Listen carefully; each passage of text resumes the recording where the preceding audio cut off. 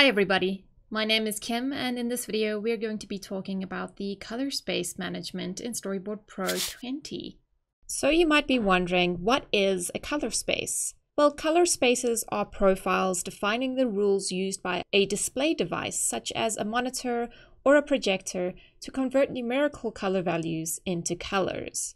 This basically means that a color space will control how that color in your project is displayed on a screen or a projector.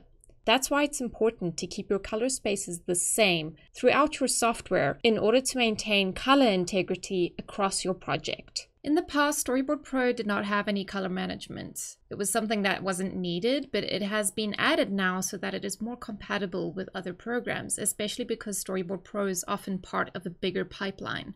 The color space management isn't so prevalent when it comes to vector images, but it will definitely help when you are exporting bitmap video or importing bitmap images.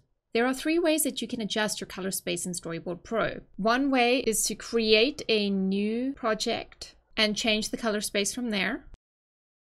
Another is to open the properties of the storyboard you're working on by going to the storyboard menu and properties all the way at the bottom I'm going to just change this one to sRGB, for instance. And the third place you can change the color space is when you actually export something like an image or a movie.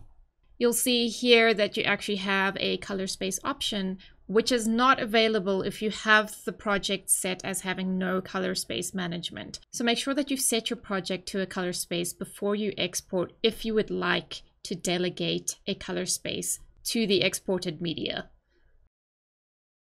And that's your color space management in Storyboard Pro 20.